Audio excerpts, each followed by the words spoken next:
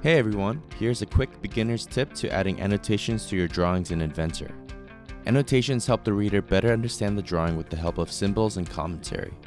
A common annotation you can make it is a dimension. Dimensions allow you to specify the distance between two entities.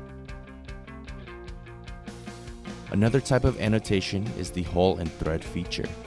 This tool allows you to call out existing holes or threads in your model by auto-populating its specifications.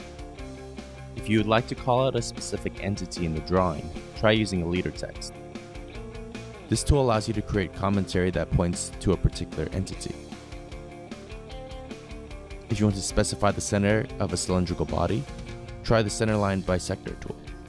This allows you to create a center line going down the middle of a cylindrical side view.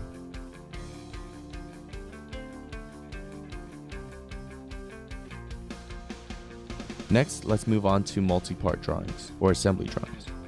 To help understand the number of parts as well as where they are located in the drawing, use the Auto Balloon tool. This allows you to specify the parts that you would like to call out as well as auto number them for you. You can also adjust the locations of these balloons to make it more visually appealing.